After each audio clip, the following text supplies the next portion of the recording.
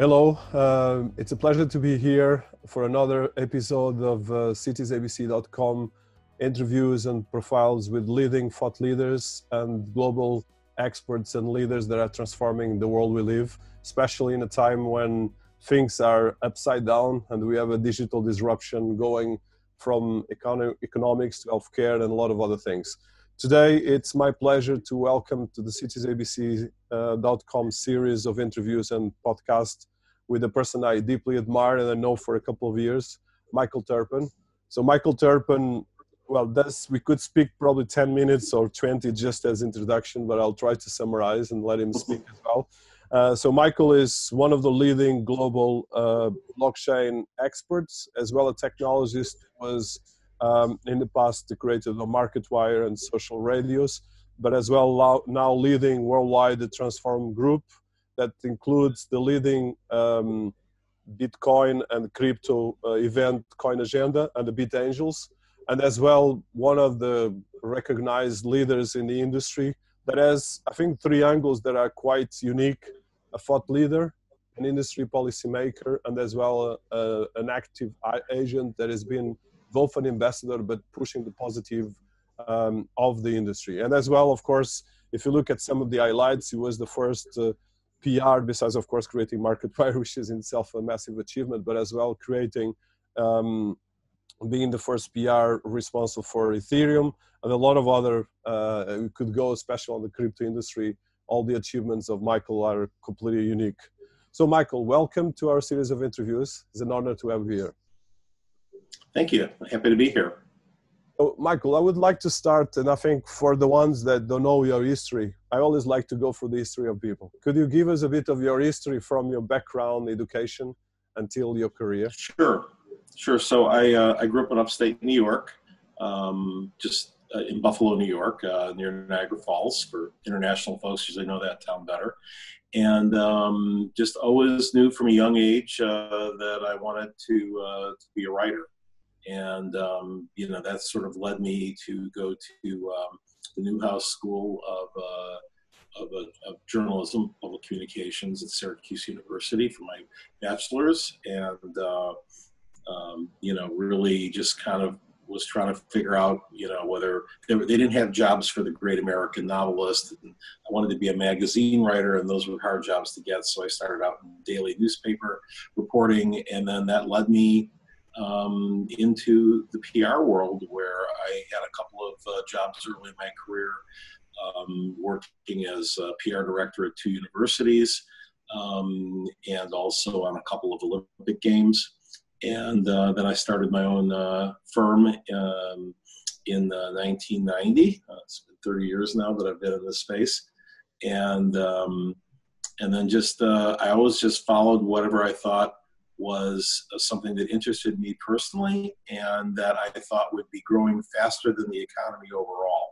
In the 90s, that was video games um, and consumer electronics.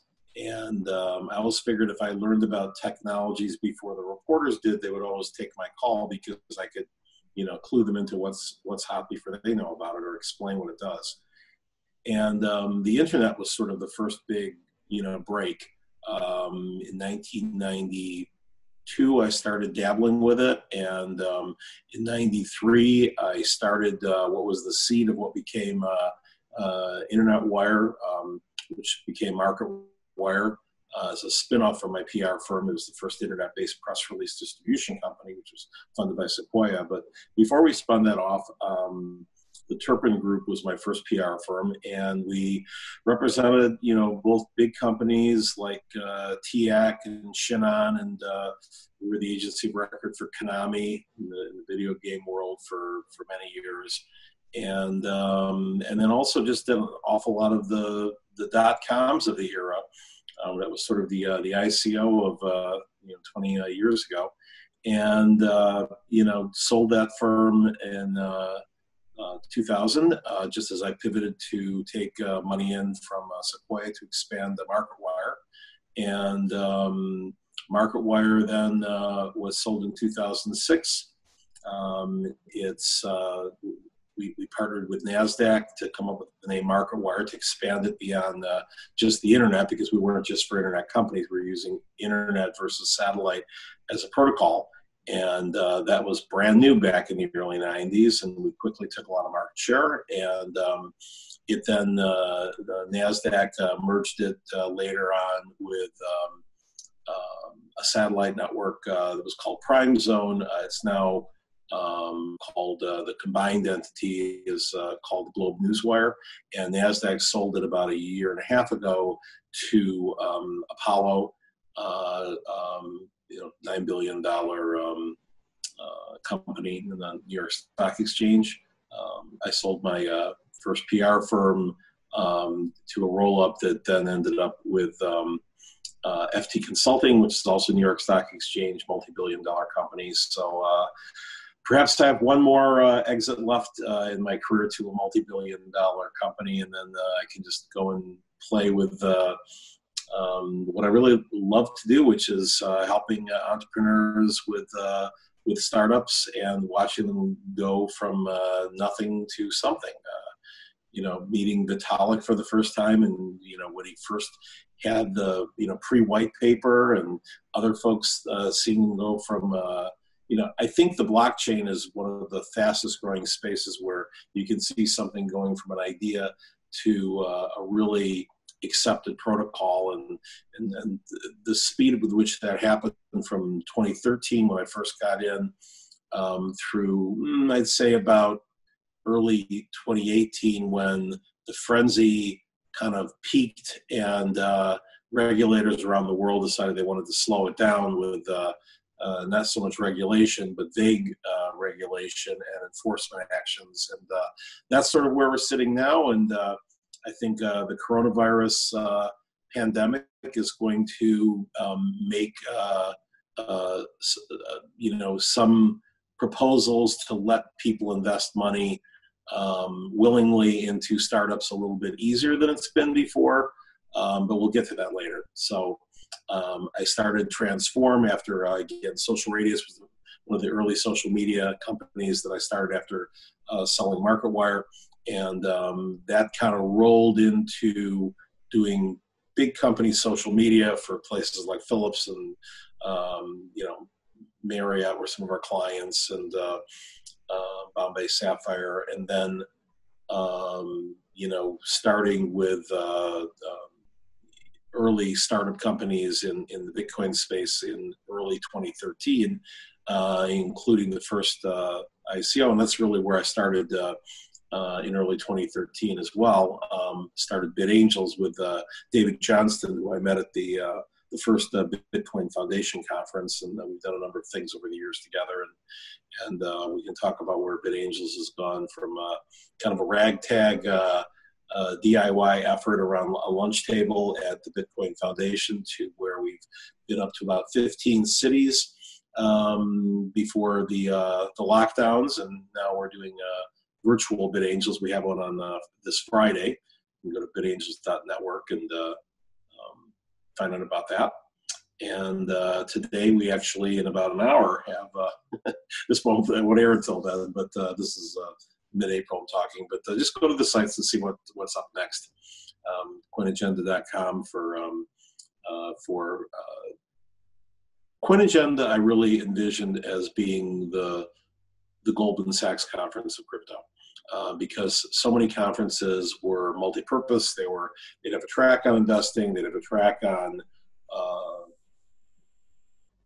on, on uh, consensus mechanisms. They would have a track on uh, libertarian philosophies, and people would come to see my track on investing, and they say, "Well, you know, I, I love what, what your panel said or what your keynote said, but I had no idea what everybody else was talking about."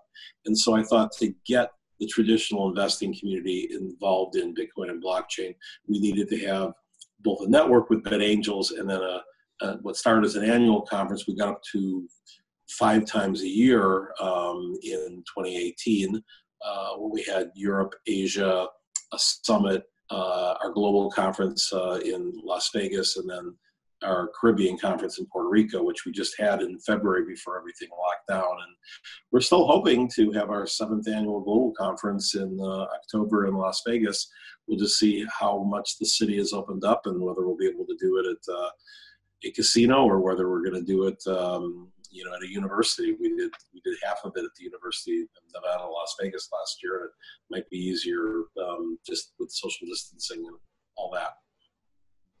So that's a fantastic uh, career, to say less, from multi-billion dollars companies to radical uh, new innovation and as well disruption on on the Bitcoin, crypto, and blockchain. So, one question before we go to all these different details. So, from the experience in the internet industry and, and pre-internet industry to the internet industry and then to the blockchain industry, there was a massive shift in technology and investment, and even in the way you look from a corporate perspective because of course like you said there's a libertarian part in the crypto industry and the blockchain industry but as as well uh, an industry enterprise side. So how do you see the shift from the internet years to the blockchain years? And and right now of course with covid-19 we are in another angle as well. So especially the, these two angles how do you see that shift? Because you are part of both well, as they say, um, history doesn't uh, repeat, but it, it, tends to rhyme. And, uh, you know, I, I, see a lot of uh, corollaries between what happened in the growth of the internet. At first, it was really laughed at. I remember in 94, it was when, it was when I launched um, Internet Wire um, at a conference where we were the only internet company in an interactive conference, because back then interactive meant multimedia, CD-ROMs. And literally, I had people coming up to me and asking whether they had to make a deal with Marc Andreessen to, to get on the internet or put up a website. I mean, that, that was, uh, and, and I had, this is a lot, I was based in Los Angeles at that point, and I had, um, you know, major studios and networks telling me that they would never go on the internet because it's just too difficult. Uh, their mom is not going to get a second uh, phone line and put up with beep beep beep beep beep beep. beep in the middle of the night. And, um, you know, it's all about the GUI. I mean, the internet in 1994, 95, um, for the average person was a horrific experience. And you didn't have audio yet, you didn't have video. Once you got video, it was, you know, really grainy and slow. And, uh, you know, now you can watch Netflix on your uh, iPhone. So the speed and the and the graphic user interface is what made all the difference for adoption and i believe we're going to see another wave of that. We've been growing at the same pace as social media did and as the early uh, web did um, in blockchain. Um, but we're you know we're still stuck in kind of the 94 95 uh, uh, era and there's usually a very uh, rapid pace of adoption between the uh, early adopters who have a different set of needs than the um, than the, uh, the the early mainstream. And I think that there's a few things that need to happen. Um, I've got a, uh, a, thought leadership piece in uh, in CoinDesk uh, today on the, the homepage uh, called uh, "Is Crypto Having Its Zoom Moment?" And we actually worked as a client with Zoom in their early days when they had a thirty million dollar valuation versus how many tens of billions they are right now. And, um, you know, they took off before this crisis, but now they've really become mainstream. And uh, my thought was, you know, who's going to step up in the crypto industry to take um, one of the applications of uh, crypto um, mainstream uh, when we're when we're distanced? I mean, obviously, the the biggest one. I mean, right now people use uh, crypto for store value and for speculation, and that's Bitcoin. Um, Ethereum is still it's still very early. I mean, it took a year to even develop the basic platform, but you now have uh, your first wave of DeFi on it, and that's uh, been causing the value of Ethereum to go up uh, as more people start looking for ways to get you know significantly more than 0.1% interest on their money, um, and they can do that through DeFi. And there's just a, a whole wide array of applications that I'm very excited about. Um, you know, going through hypergrowth in the next few years, and uh, I do believe that the uh, the token sale market is going to come back as well. Um, if you told anybody in 2001 after 9/11 that there would ever be another dot com finance, they would laugh at you. Um, and yet, two years later, Google went public. They just didn't call themselves Google.com, but they were a consumer internet company. And then Facebook. And if you look today, who are the largest, most profitable companies on earth uh, that are actually growing uh, despite the rest of the market getting hammered? Um, Amazon, uh, Netflix. I mean, these were all consumer internet companies that uh, did not exist in 1994. And, um, you know, uh, that's the promise of, uh, of the blockchain 20 years from now. And it won't happen overnight, but it will happen uh, it will go from its current uh, adoption of what maybe one percent of the of the world market, if that, fifty million. You know, maybe we're at one percent, less less than one percent, to ten percent, and then once you get to ten percent, it moves very quickly because you have the tools, you've got the sort of safety. I think what really is going to be required to get there, aside from just um, easier interface, is going to be easier onboarding. I mean, right now, you know, people will say, I want to buy some Bitcoin. How do I do it? And I have to point them to an exchange where they have to go through just, you know, days of KYC to buy $50. And so, you know, there's, there's, there's new things out there like, um, uh, you know, Fold's deal with Visa where you get, uh, you know, your, your credit card bills rounded up and you get to keep it in Bitcoin. Or um, uh, there's, a, there's, a, there's a gift card now that you can uh, um, you know get, get uh, almost like a savings bond in Bitcoin. So there's there's a, there's a lot of innovation that, that's that's happening now, and I think that once you have more clarity and ease of of onboarding. Um, and I think one of the things that's going to require that, that is to have a major telephone company that already has all your KYC. They know where you live um, they've got your driver's license, buy or partner with a major uh, exchange, and then all of a sudden you've got 100 million people who are using that telco, uh, whether it's Verizon or T-Mobile or whoever, um, and they run a promotion and say switch to T-Mobile and get uh, you know 100 uh, dollars worth of free tokens, including the hit new game Angry Birds blockchain, and that's coming. And and gaming is usually the first uh, killer app of mainstream adoption. Uh, remember Pokemon Go? I mean, we never went too much further than that in the AR space, but there was a little period of time people were running around, uh, um, you know, trying to find their Pokemon Go characters. And uh, I think you're going to find that Uncle Milty moment, as I like to call it, in blockchain within the next two, three years. That's uh, um, yeah, I think a fantastic analogy from the history. It doesn't repeat rhyme and as well what is happening. So, uh, two questions on the blockchain side. Um, so the first one is, you were in the inception of Bitcoin and inception of crypto, and there's the part of trading and investment, the ICO industry, all the tokens, and that somehow didn't collapse, like you said. Well, it was early in Bitcoin. I wasn't there at the inception. I was at the inception of the ICO. No, I understand. Um, but 2014, the Angels did the very first ICO. yeah, but but if you look at Bitcoin, it's 2011. You were 2014. It's two years. So and of course, initially the first two years were very dark. There was almost not a lot of people involved. Let's put it that way.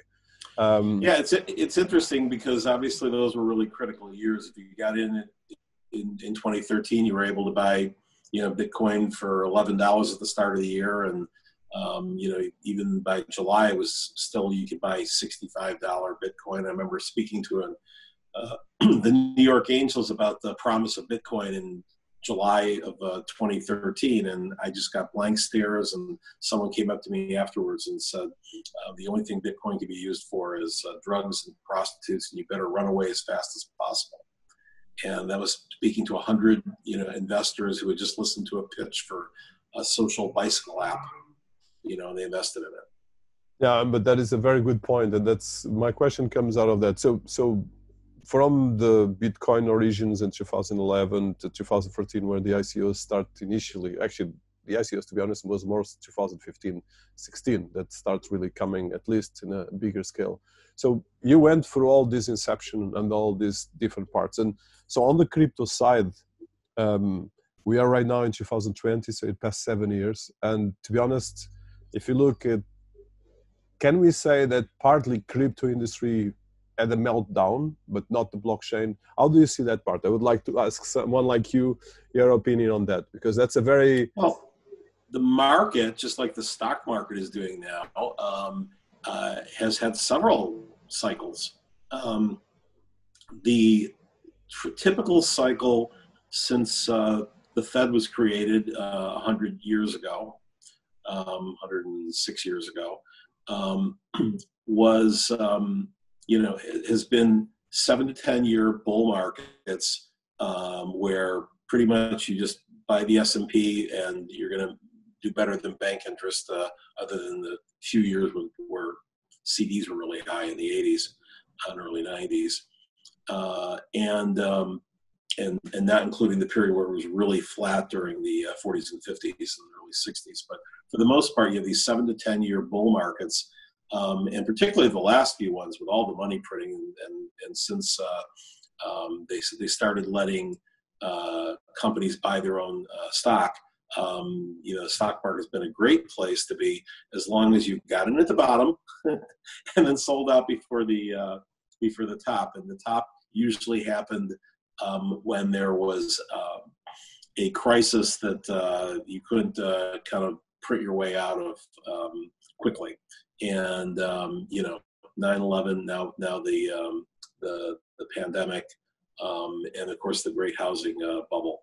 Um, so you know there's there's we were already overheated in terms of uh, what the, the PE was, and if you back out the the stock buybacks, the PEs were astronomical. So really, there's been not much growth. It's a lot of you know charts. You can look this up if you just Google the keywords um, or or just watch Max Keiser any day of the uh, any of the three days of the week he's on, um, or read Zero Hedge, or I mean, there's just a lot of uh, you know uh, hard data on how overheated the um, uh, the stock market has been. Uh, Harry Dent is a good friend of mine. He's an economist. He's written a number of books, and uh, he basically said that you know the economy at uh, 2008 should have kept going down or been flat, but instead the, the money printing just kept it soaring to way above where it should be. I mean, we shouldn't be talking as should it be 30,000 or 24,000 without the money printing, and without the, uh, stock buybacks, you know, you'd be still you know, scratching around 10. Um, but uh, that's that, you know, ability of the U.S. to, uh, you know, there's a meme going around now, um, you know, um, goes the money printer. And, um, you know, we've shown that uh, any of the past arguments about uh, responsibility for budget deficits and our grandchildren will be paying for this. No one's going to be paying for this. Um, you know, we're in an interest rate of 0.1 right now, and I, I, saw a presentation the other day that said that the interest we're paying right now on this gigantic national debt is actually less than we were paying in the 80s when interest rates were 15%. So um, it's comparable to the size of the economy. So, uh, you know, this is all, um, you know, part of the game plan of uh, fiat money. And um, it keeps going until, like, like the stock market, until until a, um, you know, a, a, black swan, um, you know, disrupts everything. And um, you know, we had the pandemic for the stock market, and the initial reaction, of course, of crypto was to flee to the U.S. dollar like everybody else. Um, but you know, the U.S. dollar is, you know, all indications are that it's it's in the descent, and the RMB and perhaps some Bitcoin and gold are on the ascent, and um, we just don't know exactly when. But um, you know, uh, I'm a firm believer that uh, even if we have some uh, disruptions that are caused by stock market um, meltdowns and people fleeing for cash, they're going to they're going to still be offset by the new people coming into Bitcoin, which they are right now. Um, and as more people get into Bitcoin, then they learn about Ethereum, then they learn about what you can do with programmable um, uh, blockchains. And, you know, like I said, we're still kind of in the equivalent era of the uh, internet before Netscape went public. There's no public uh, blockchain companies when, when you know Coinbase goes public, when uh, Bitmain goes public, and um, you know uh, you can sort of see um, Binance, perhaps you can sort of see what types of uh, uh, profit margins are involved with successful companies as they go into a bull market. Um, you know, then all of a sudden, I think you're going to have um, another bull market for uh, not just the stocks, but for the assets themselves. Um, first and foremost, Bitcoin. And you know, when Bitcoin gets a cold, the rest of crypto gets pneumonia. When Bitcoin uh, moons, uh, you know, it certainly helps a lot of other aspects of uh, of the uh, of the infrastructure because people who were early in and who believe in building on top of it, um, you know, now have a lot more wealth. Um, if you figure that 10 million of the 21 million bitcoins that ever exist were earned initially by mining, um, you know, in the first four years when the average price was under a dollar, uh, there's a handful of people who you may not even know who've got 10, 20, 30, 50, 100,000 Bitcoin, um, which when Bitcoin inevitably hits 50,000, I think probably this cycle, or 100, 200,000 in five to nine years, you know, do the math on 100,000 times 100,000 and uh, you get a pretty large number. Yeah, that's a lot of uh, a lot of things there. So a couple of um, just uh, some details on that. So you created the BitAngels in May 2013 and Coin Agenda in 2014 in January. So from that inception, so there's almost three three divisions in terms of what you see as the crypto evolution. There's the first one that was Bitcoin, the second with the ICO explosion and everything that came out of that, and now we are going through another one, which is kind of the digital currencies, which we cannot say that is crypto, but somehow it came out of this, with Facebook being or the Facebook uh, uh, digital currency being probably the exponential, and as well the Chinese government new digital currency that is as well powered by blockchain. So how do you see these three um, iterations and as well the impact that we have in the world? Because of course, with the crypto still going and Binance and all the, the, the ones you mentioned, CoinAgen, Coin, CoinDesk and all these big players that are the biggest ones, but then you have of course the i'm talking from a crypto analogy then i go to blockchain. Then you have definitely mm-hmm. the the ethereums the mainstream tokens which are still the biggest in the world uh, from cardano to to ethereum and so forth. And and, uh, and then of course right now we have the iterations that are mainstream global players. That is of course the the libra of facebook is not working as they would like to but it's still a major achievement for something that comes out of crypto inception. And of course, Chinese government officially moving forward with this. How do you see these three uh, iterations of the crypto universe? Well, just like the internet uh, spun off to a lot of different internet applications. I mean, what uh, Salesforce.com does is very different than what uh, Amazon does, and very different what uh, Facebook or Google do. These are stacks that are built on the, the, the internet. And um, you know, I've said for years that we're going to build stacks on top of basic blockchain systems. And there's not just one basic blockchain. There's not just one stack. You've got the Bitcoin stack, and they're trying to build Lightning on top of that and other things.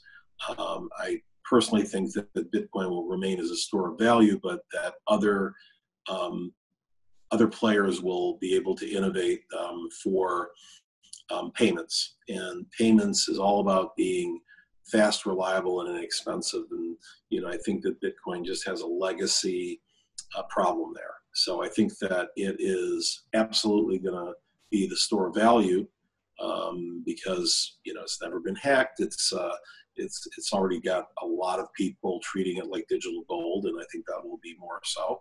And um, you know, so that's uh, you know, it's been said that the goal is to get to 10% of the value of gold um, which at the time I think I heard that first said the value of gold was about maybe six trillion uh, globally, and now it's probably closer to ten trillion.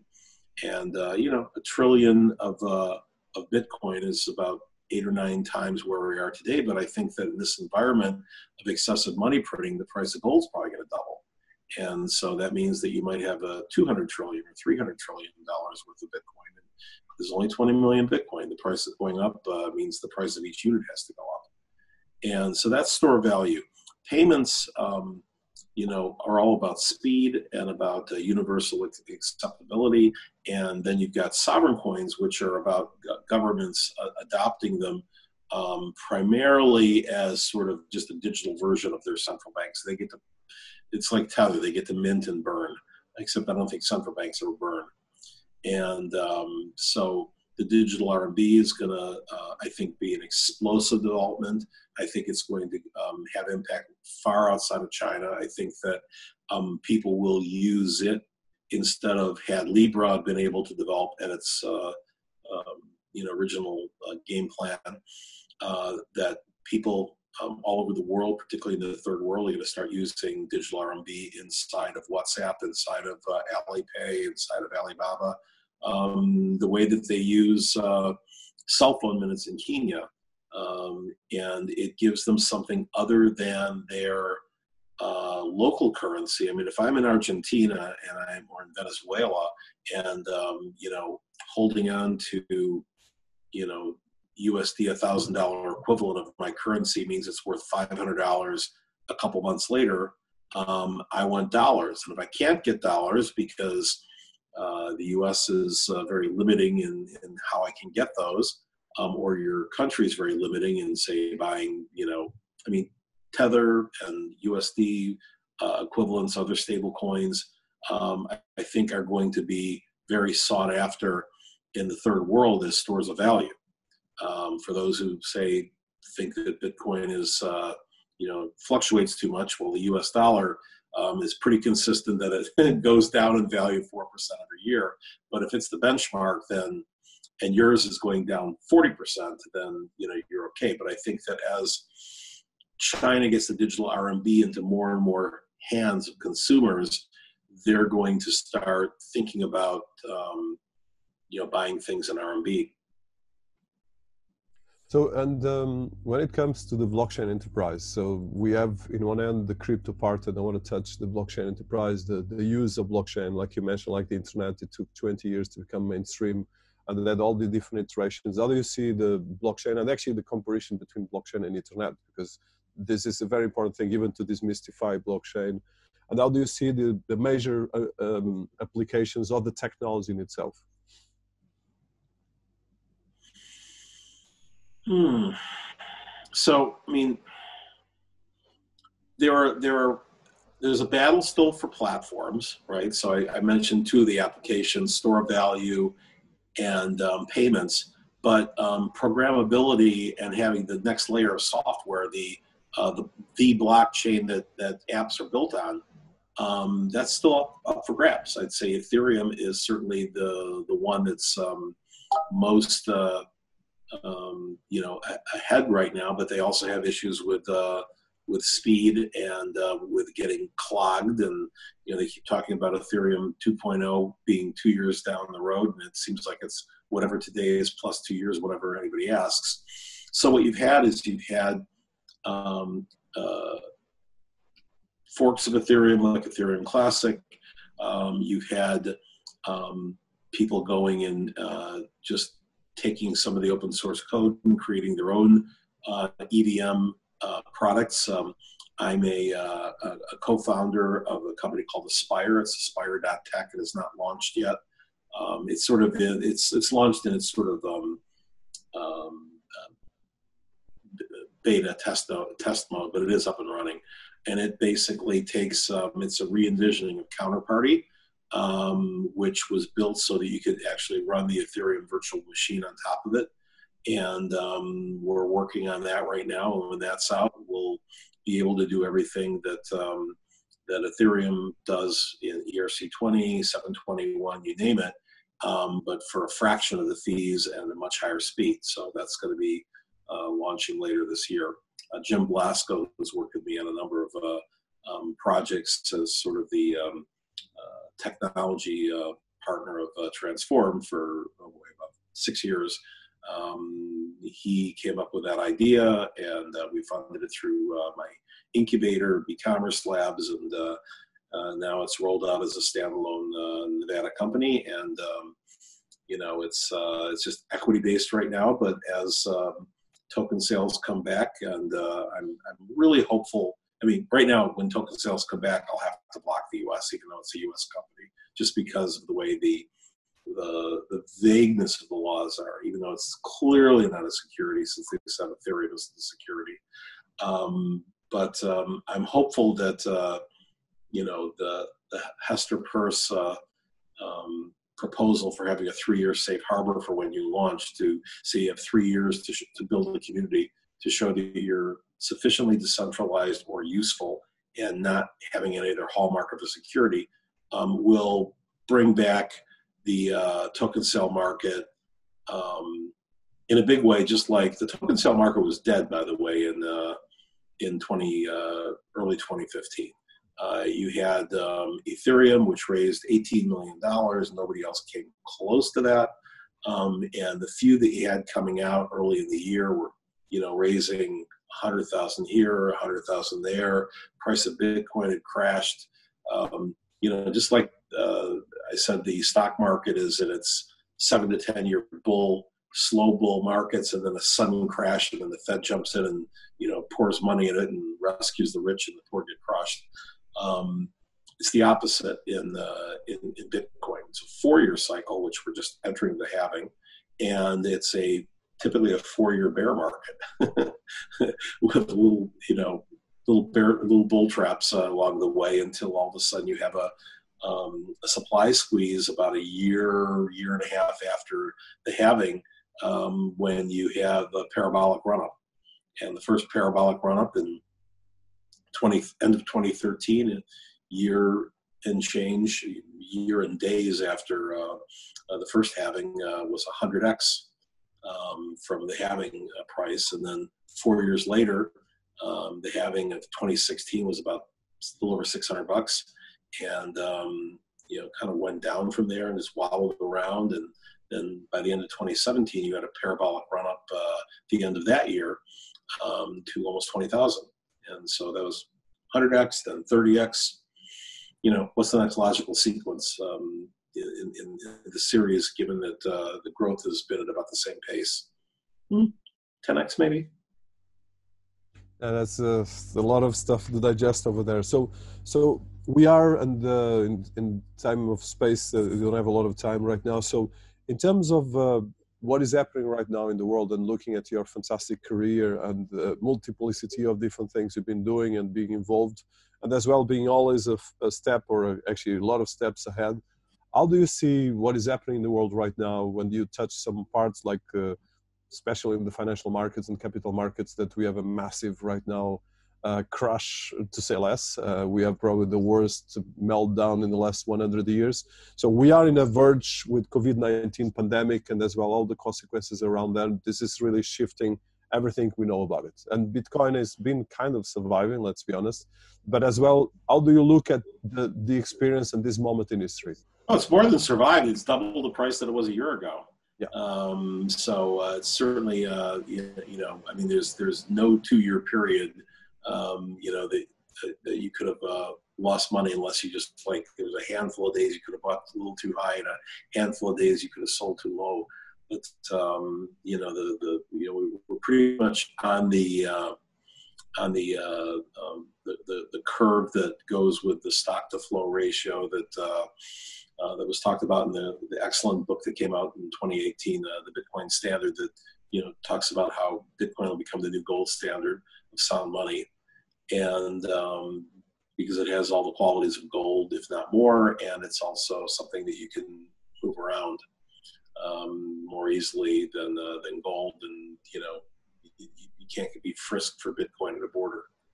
Um, so uh, um, you know, I think that uh, um, we're going to keep continuing along those lines, and that uh, um, we're, we're going to you know, it's it's still very early.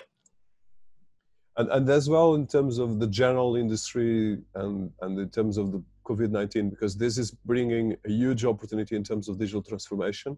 Of course, a lot of opportunities will be kind of accelerated on technology development, especially by. So a lot of it depends on, on, on what the uh, ultimate response is. If you listen to some people, we're going to be locked down for two years. And uh, even when places open up, no one's going to come out and you know CDC just twice in the last week, uh, even though the current head of the, the CDC, a Trump appointee, has no real background in this in this area. Um, he was heading up research for a university, um, but uh, and I think his you know I, I, one of his political reasons was because he was uh, you know parading around the country saying that uh, you can cure AIDS by uh, just uh, preaching um, uh, abstinence. Um, so they have some very odd people running the different parts of government right now. But um, at any rate, if, if it's true that next winter is going to be worse than this winter, and we effectively have a two year lockdown where there's no major events, there's no travel, and you have to print money to keep all these industries from going under. I mean, I live here in Puerto Rico. Um, we're very reliant on tourism. Um, I also spend a lot of time and have some investments in, uh, in Las Vegas and uh, that's a town that's completely reliant on tourism. I mean, if you can't open the casinos, you have you have 100% unemployment practically, and um, you know you just can't print that much money. I mean, if you're looking at two years, you're talking about printing 50 trillion dollars, not you know five trillion or six trillion dollars. And at what point does the excess U.S. dollars in the market, um, you know, affect uh, the forex um, and affect the uh, the price of gold because the price of gold knows how, many, how much dollars there are, which is why you can't even buy physical gold. You go to any of the major gold sites now and try to buy physical gold as opposed to the ETFs, which are a promise of future delivery. Um, and you know, I think people got afraid of the ETF markets uh, when oil went to zero the other day for, for delivery because there was no place. That, I mean, we're living in unbelievably strange times, and I think that um, this is the perfect environment for both Bitcoin as a store of value um, and for blockchain as a way to do things like, you know, we haven't even gotten to provenance and supply chain, which are being shown how uh, the current supply chain models um, are still pretty much brick and mortar. I mean, they're even the internet really didn't uh, solve a lot of these papers still by um, uh, the port of Los Angeles, which is still closed. Yeah, that's uh, uh there's a lot Blockchain of things. can do it a lot of way. I think we have a delay in your. I think it's good now. So um, probably as the oh. last, I think you have a, a limited of time. So um, last question. five more minutes. Yes. Okay. So the the the principles of uh, of blockchain is about decentralization and ultimately there's two ways of looking at the economy one is like you said print more money and create a kind of a meltdown of of fake uh, dollar and fake currencies all over the planet or then create a more sustainable society which is actually was the the premises of blockchain technology and the ICOs of creating a more sustainable kind of peer-to-peer uh, community and, and the society. Do you believe on that? uh, how do you see that part as being one so, of the? I, I would say that decentralization is only one of the tenets of what makes a blockchain. Um, tokenization and um, proof, um, you know, that you can't hack an audit trail, which can be done without being decentralized. Just ask IBM or Microsoft who, you know, are using Hyperledger to do that. It is a blockchain, but it's a permissioned blockchain or a private blockchain. And I think that in general, um, public blockchains are the ones that are going to succeed, just as the internet, um, you know, succeeded over intranets. Uh, again, going back to the mid '90s, you know, Walmart and GE, they were afraid of the internet. They were like saying, "Well, I, I, I like the idea of being online, but I don't want to." have it be controlled by you know people who can hack my system so we'll go and build our own intranet and then they realized that, you know, it's not very easy building your own scalable internet and that it was easier building tools that took away your concerns. I mean, Marc Andreessen had a, an interview many years ago uh, talking about, uh, uh, you know, what problems needed to be solved for the internet to scale and how the same things are going to happen with blockchain. Um, when he first got funded to do Netscape, he all of a sudden, you know, went into the New York Times and said, "Hey, you should put the New York Times online." And they're like, "Why would we want to do that? We like selling paper copies. Why would we want to give it away?"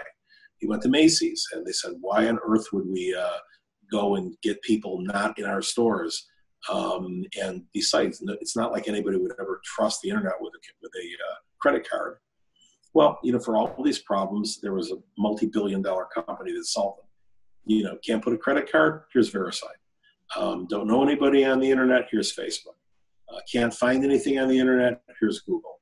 And so um, Marc Andreessen said he believes that there are opportunities for all of these problems that you see with blockchain right now to be solved by multi-billion dollar companies.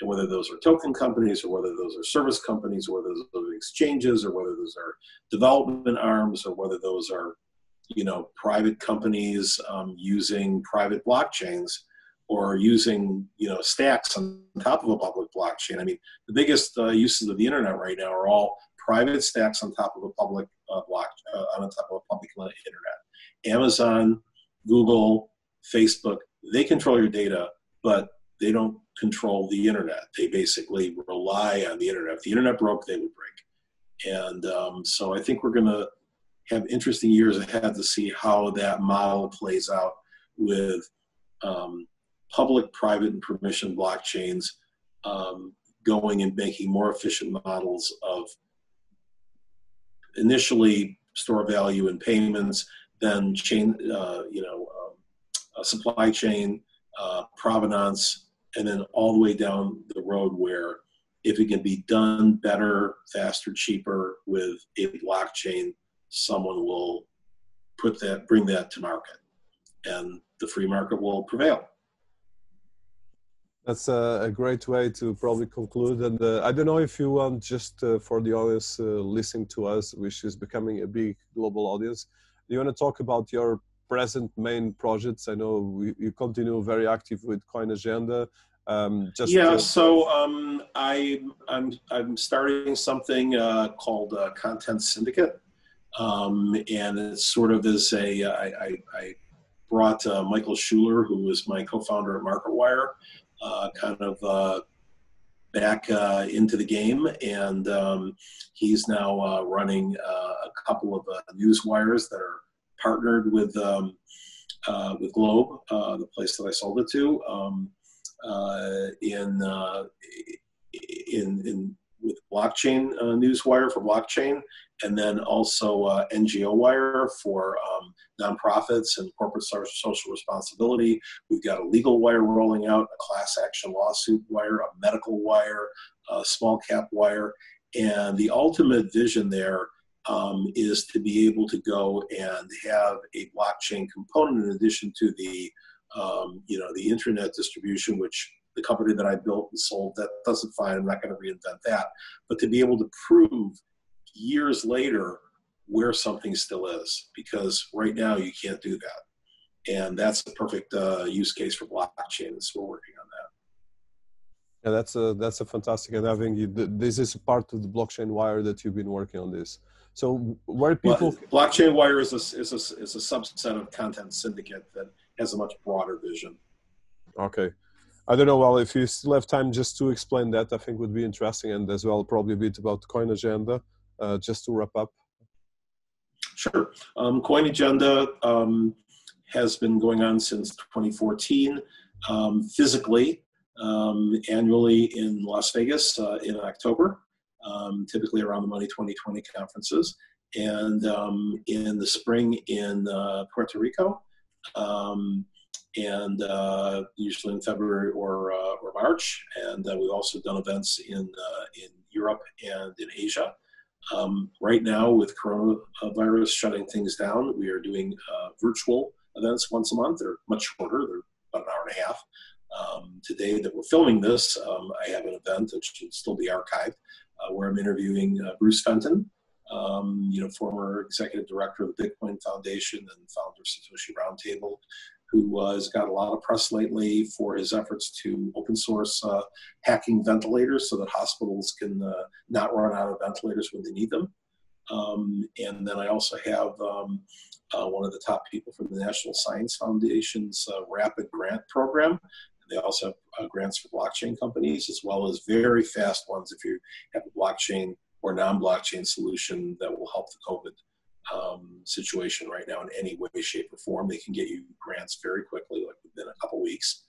Um, and then uh, a panel on what the blockchain is doing um, for COVID, um, uh, um, featuring three CEOs who have active initiatives. Uh, Eric Benz, the CEO of Changelly, uh, Ben Goertzel, the CEO of SingularityNet, and Pradeep Goel from Goel from CEO of um, Solve.care. And uh, next month, next month we're going to do something after the halving about uh, what happened, and I'm going to bring in some uh, Bitcoin experts as well as some mining experts. Just one last question on the Bit Angels. So you've been since 2014. What what is BitAngels doing right now? Think just to get that. Well, right now we're virtual because um, the the 15 chapters that have been doing um, uh, monthly or bi-monthly uh, uh, in-person meetings um, you know, they're all in cities that are shut down. So we have a best of cities once a month. Um, the first one is um, uh, this Friday, the uh, April 24th. This may appear later than that. And um, then some of the actual cities are going to be doing their own virtual events. And, you know, we're hoping that the cities start opening up enough so that uh, it's not impossible to get uh, 50 people together for a uh, breakfast event uh, with social distancing, um, you know, by the summer in most of these cities. Maybe New York will be the last, but uh, you know, in, uh, Nevada, we're certainly hoping that, and San Juan, we're certainly hoping that we can return to some kind of normalcy with, you know, obviously Uh, safety precautions uh, by the summer. Okay, thank you so much, uh, Michael. I think we are in the last part. Wishing you all the best and as well uh, keep safe over there. And I think we're going to put a, in the interview, so this will be three parts. There's an interview, will be syndicated in different channels.